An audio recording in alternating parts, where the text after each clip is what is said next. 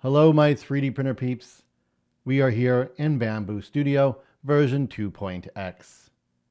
What's that? Yes, I know. You were scared, weren't you? You got so comfortable in 1.x, finally. And then they drop 2.x and tell you it's going to be all different. Yet, this looks kind of familiar, doesn't it? See that? You were scared for nothing. Let's dive in and learn all about it. Click into Prepare. Oh boy, what is this? It does look a little different, doesn't it? But hold up, some of these things make a lot of sense. But wait a second. All that hoopla must have presented a lot more user interface changes to confuse me, right? Right? Right?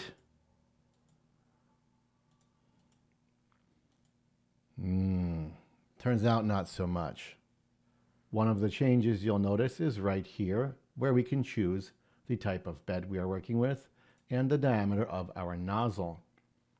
Keep in mind when changing the diameter of our nozzle here, we will still need to click into device and make sure our printer has the correct diameter and material chosen. This is the specific material and diameter physically installed on the printer. This is the diameter of the nozzle we are working with here in the project.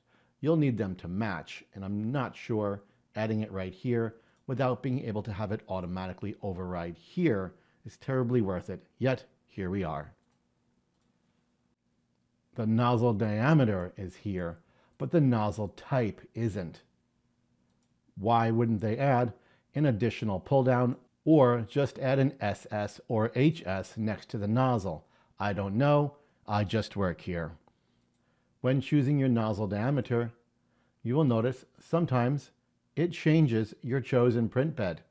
0.6 changed to textured PEI, 0.4 to smooth PEI, 0.8 back to textured PEI. Why does it do this? I have no idea. I prefer smooth PEI for nearly all my projects, but if I need a textured bottom, I'm going to choose a textured bed regardless of my nozzle diameter. Here on the printer select screen, you will have all your user presets followed by system presets. If you click here into the pencil, you have the usual configuration screen. If you choose a Bambu Lab printer, such as the P1S, it shows the P1S right here. You'll notice down here, your PLA settings, you have these three dots now, and you are able to click them, delete this filament, merge it with another filament, or edit that filament to change its settings right here.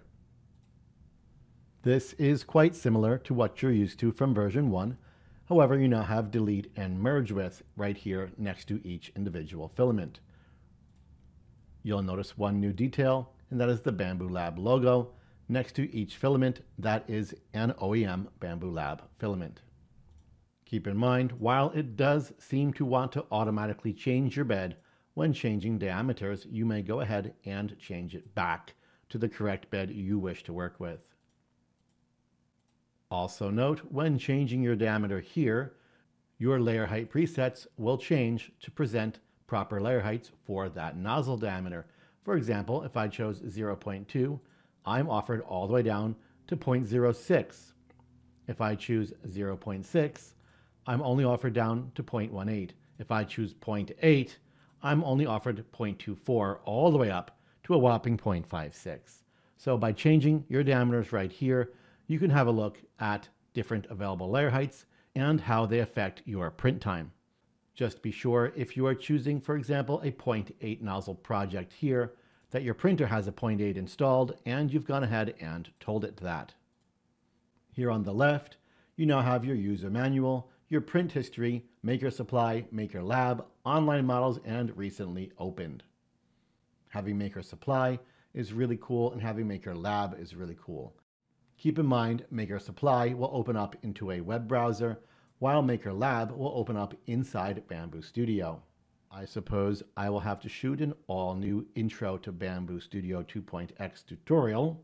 However, I just wanted to show you guys who may have been afraid to move up to 2.0 and ignoring that pop-up there's no need to do so. You can make the move to 2.x and get started working with the current slicer as Bambu requested we all do. If you are working with the Bambu Lab H2D, Bambu Studio 2.0 has specific functions for that printer. You may go ahead to select Remove Printers, and in here you will be able to choose the new Bambu Lab H2D. However, I will not be able to do so because I do not have one. But I added it anyway, just so I can pretend for a little while. When working with the H2D, you will have some new options, such as working with individual AMSs for each individual nozzle. Those of us working with an older machine still only have our AMS access limited here to the device tab right here. Do note they moved the external filament from the left side of the AMS to the right with a graphic which shows it a little bit more clearly than it did in Bambu Studio 1.x.